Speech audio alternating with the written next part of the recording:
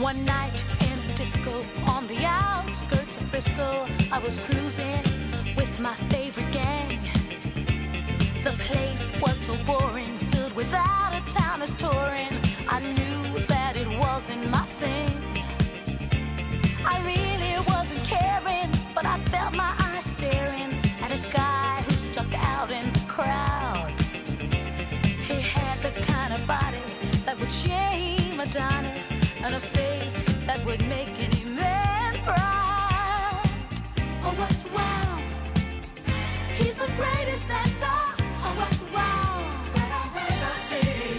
Mm. Oh, what wow! He's the greatest dancer. Oh, what wow! The champion of dance, his moves will put you in a trance, and he never leaves the disco alone. Arrogance, but not conceit. As a man, he's complete. My creme de la creme. Please take me home. He wears the finest clothes, the best designers, heaven knows. Ooh, from his head down to his toes. Halston, Gucci, Fiorucci. He looks like a steal. That man is dressed to kill. Oh, what wow!